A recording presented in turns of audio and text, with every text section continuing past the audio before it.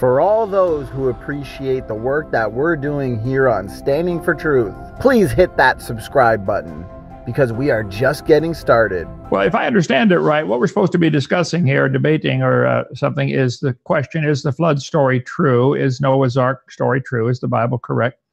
Um, and thank you for doing this. And Adam, I was told your uh, MS is in zoology and herpetology, the study of reptiles and animals. Uh, true is something that's in accordance with fact or reality. Would it be a fact? Would it be reality that the, f- the world was completely flooded and one family built a boat and saved all the critters on the boat? That's what the story says in Genesis chapter 6, 7, and 8. So is it true? Uh, in accordance with actual state of affairs is the Webster Dictionary definition of the word true. Definition of true something that is real, factually correct, accurate, or provable, as opposed to a lie. Apostle uh, Pilate said in uh, John chapter 18, What is truth? And by the way, most politicians still have no clue what truth is. Nothing's changed in 2,000 years. The Bible tells us to think about things that are true. And so I don't want to believe anything that's not true. And so, if the flood story isn't true, I would sure like to know it. Uh, I'm very willing to uh, to be taught on this. Let me give you a quick history of uh, where I think this all fits together. In the book of Second Peter, chapter three, Peter warned us that in the last days there would be scoffers who would come, who would be willingly ignorant that of how by the word of God the heavens were of old, and the earth standing out of the water and in the water. The Bible's pretty clear. when God made the earth, it was standing out of the water and in the water. What does that mean? Well, then it says, the, the whereby the world that then was being overflowed with water perished. This world was destroyed by a flood. That's what the book says. Now, is it true? Well, the Bible says God sits on the circle of the earth and he stretched out the heavens. There are 17 references in the Bible to the stretching of the heavens, which is, explains the red shift and all that, but I want to get up to the part about the flood.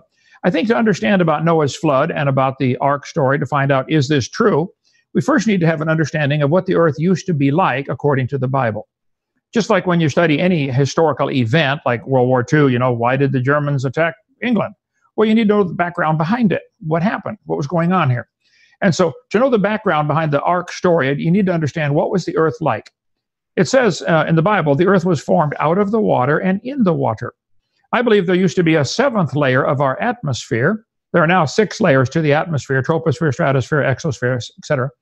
The seventh layer was a layer of water or ice, probably above the atmosphere, probably six miles up. Or in your metric system, that would be what, uh, 100, uh, 10 kilometers straight up. Uh, at, there are some heat sinks up there as you go up in the atmosphere. You get up a certain altitude, like 10 kilometers or six miles, and it's 100 below zero right now.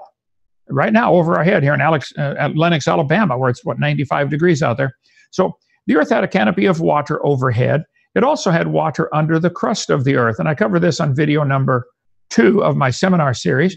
Let me get up here. Uh, but Jews have always taught there was water above the atmosphere. Here we go. Right here. There was also water under the crust of the earth. Most of the flood water for Noah's flood did not come from rain. Most of it came from inside the crust of the earth. Um, got a globe here somewhere. I did have. Where'd it go? Here we go. All right. The earth today has a crust about 10 miles thick. Uh, it varies, sometimes only three miles thick under the, con- under the ocean beds, but this crust of the earth used to have water in the crust of the earth, according to the scriptures anyway. The Bible says in Psalm 24, the earth is the Lord's. He founded it upon the seas. That means the foundation was upon the seas. And he established it upon the floods. So, according to the Bible, the flood water was inside the earth, most of it. Same thing in Psalm 33. He gathereth the waters of the sea together as an heap. He layeth up the depth in storehouses.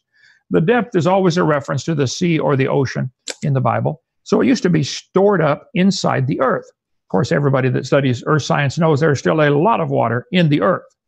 Um, huge amounts of water still in the crust of the earth, subterranean water pockets. Okay. Psalm 36, 136, he stretched out the earth above the waters. So the original creation had a layer of ice above, I'm just guessing 10 miles up, probably two or three inches thick. That made the earth like a big greenhouse, protected them, made them have perfect weather, perfect temperature, pole to pole, made the animals grow huge gigantic animals are found as fossils that simply are not alive today.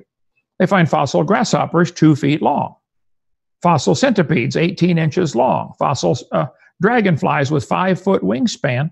They simply could not fly today. Something had to be different. So a canopy overhead, like I think the Bible teaches, would, would be a, a reasonable explanation. They had greater air pressure and richer oxygen concentration to allow the insects to get much larger and probably all the animals to get much larger in that world before the flood came and all this got messed up. There was a layer of air to breathe, probably 10 or 15 miles, and then a layer of rocks to stand on, the, the crust of the earth. Again, pick a number, five to 10 miles. And underneath that was water stored up for this flood. There, Walt Brown's book, the, In the Beginning, is fabulous on this, the hydroplate theory, how that there was water in the crust of the earth, and there still is a lot of it. The Bible says, in the 600th year of Noah's life, the same day were the fountains of the great deep broken up. Most of the flood water actually came from inside. It only rained for 40 days, but the water kept coming up for 150 days. So it's not all coming from rain. It's not possible to rain enough to cover all the mountains. I understand that. I don't think the mountains were there. I think the Bible teaches pretty clearly in Psalm 104 at the end of the flood, the mountains arose, the valleys sank down, and the water rushed off to fill in the holes. So it's interesting that all the mountain ranges today follow the coastlines. The Appalachian Mountains here in America follow the North Atlantic, the Rocky Mountains follow the Pacific. I think the mountain ranges formed during the last few months of the flood when the mountains arose and the valleys sank down and the water rushed off.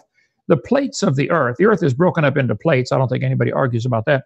Those plates would be shifting and moving with the weight of all this water on top, while the joints where they meet, the fault lines, was still weak, freshly broken. And they could still move.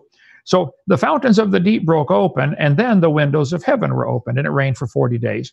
But the water underneath is really where the flood came from. It came shooting out to the surface along the cracks. The earth cracked up like an eggshell, and we have fault lines San Andreas Fault, the Hayward Fault, the New Madrid Fault. None of them are my fault, but the earth def- definitely has cracks all over the place, and some are still moving, and we still have volcanoes and earthquakes along those cracks generally. But the water rushing out during the flood, rushing out of these cracks, would be under incredible pressure 10 miles of rock it would go shooting up like a rocket. Actually, a cubic foot of rock is about 160 pounds. That's what uh, 70, 65, 70 uh, kil- uh, kilograms. Um, this would put 30 tons per square inch of pressure, 30 tons per square inch on the water underneath. It would go squirting out like a, what's the name of that water pressure thing they cut steel with? Uh, water jet. Water jet. They make a water jet that'll cut through solid steel. 30 tons per square inch would shoot rocks up into orbit. I think we are still hitting debris from the stuff that was launched off the Earth 4,600 years ago during Noah's flood, 4,400 years ago. The other night, we're out watching the shooting stars, and zip, zip, they go across the sky. It, we're still hitting the debris that we let that launched off of here. Is it scattered in space, and we're traveling around the sun, and once in a while we smack into it like bugs on a windshield. So some of the rocks would launch up from the flood and come back and land on the earth right away. Those would be erased by the flood. You would never see evidence of those. Those that landed near the end of the flood would probably leave a crater, but then most of it filled in, depending how long it was exposed to water. Like the one in Quebec, Canada, 40, what, 60, 46 miles across, I think it is the biggest crater on Earth known. That probably formed during the last part of the flood with a few weeks to go, and most of it filled in. And now it's just a circular uh, lake. But the moon was probably shattered during this time, splattered with stuff coming off the Earth. The craters on the near side of the moon, the crater pattern is very different than the craters on the far side. This would be the stuff that shot past, got drawn back in by moon's gravity, and hit it on the backside. Earth has a lot of impact craters on it. Uh, you can go. You got some in England, I think, uh, down near the southern, southeastern tip of England. What's that? Cornwallis? No, it's the other side. Anyway, you have craters over there. Here's a Barringer crater in Arizona. I think this would have to be hit after the flood because it didn't fill in with sediments. It's still a big hole in the ground. The flood water escaping from underneath would cause the continents to slide back. Just like today, if you put two blocks of rock on top of a spring, move the rocks apart, all of a sudden the spring will bounce up in the middle And the crust of the earth would do that. The, the subterranean work, the world, the basalt layers, would spring up into the crack. As the crack gets wider, probably from simple erosion, from the water gushing out, as it gets to a certain depth or width, all of a sudden the bottom springs up. This happens in large mines all the time. They keep digging out the rock as they get further and further back. All of a sudden, the bottom of the mine buckles up just from the weight on the outside. It might be a quarter mile away, but it makes the center of the mine buckle up. You can study all that. So I think Walt Brown is exactly right. The crust of the earth broke, the water came out, the basalt underneath lifted up, causing the crust of the earth to slide away. As long as there's still lubricating water under there, it would eventually grind to a halt when it hits bottom. That explains why we have wrinkled mountains.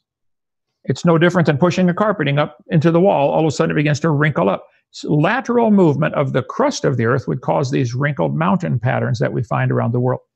Um, the earth still has the uh, fault lines on it today. I think all the evidence from that we see from earth science and from geology points to the fact this earth was destroyed by a flood. They find fossils on top of Mount Everest tallest mountain in the world. Petrified clams in the closed position. I think I got one here. Yep. When you get petrified clams in the closed position, you know it had to be buried alive. There's a place in North Alabama where they're 10 feet thick, millions of petrified clams, beds of clams, closed. You can go down to the beach 70 miles south there in Pensacola and find a million seashells, but you aren't going to find a matched pair, and you certainly won't find them closed had to be buried alive. I don't know of another choice. If you got a better theory, I'd like to see it. So the Bible says Noah built an ark, saved two of each kind on board. I'm not sure exactly what a kind is in every case, but two of each kind, probably about 4,000 kinds of animals, plus the birds, maybe another thousand kinds of birds, just guessing, had to be on that ark. Then after that, they have diversified now through natural selection and variation within the kind, they've diversified into millions of species, but that's different than kinds. So today, the Earth has uh, ocean basins. 70% of the Earth is still underwater. So if someone asks, where did the water from the flood go? It's still here, it's in the oceans. Just the Pacific is big enough to hold every continent in the world. All the continents would fit in just the Pacific. The Earth today is 71% underwater. Only 29% is above water. And the part that's above water is only an average height of 2,300 feet or 2,600 feet, whereas the depth of the oceans averages 12,000 feet. So today, if you smoothed out the world, push, push all the mountains down, smooth it out, the water would be 8,000 miles deep, 8,000 feet deep, everywhere. A mile and a half of water, completely covering the earth. That water's still here.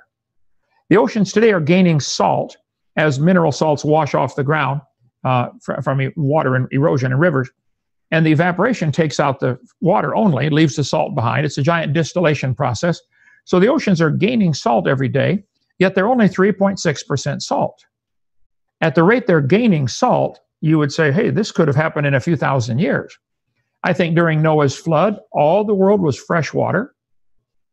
Noah didn't have to bring water on board. He probably brought babies of all the animals, about six or 8,000 different kinds of animals onto the ark. He didn't have to bring insects because they don't have nostrils. The God told him to bring those in whose nostrils is the breath of life. And insects can survive a flood just fine. So the flood was probably all fresh water, had all the water they needed, and now it's gradually become saltier since the flood. And some animals have adult, ad- adapted to salt water. We now have freshwater alligators and saltwater alligators, or crocodiles, I'm saying. They might have had a common ancestor called a crocodile. That's not proof crocodiles are related to mosquitoes. So to change, there are saltwater bass and freshwater bass. One minute left. Okay. So today there is still an enormous amount of water in the crust of the earth. There are hot water subterranean vents. If there's hot water shooting up into the bottom of the ocean, where does it have to be coming from? Lower than the bottom of the ocean. Like, duh, okay? Tens of millions of these hot water vents are shooting up down there. And there's plenty of evidence of there still being a lot of water in the crust of the earth. Deep sea hydrothermal vents, they're called, and you can Google that and get a million pictures. So, my position is it is very reasonable, it is logical, it is true to believe there was a flood that destroyed this world. We have evidence of the damage it did all over the place. It is certainly reasonable that all the animals could come from seven or 8,000 pairs of animals on a boat. It is not reasonable that all the animals could come from a rock 4.6 billion years ago, like the evolution theory teaches. It is reasonable that all the peoples of the world could come from a family of eight on a boat.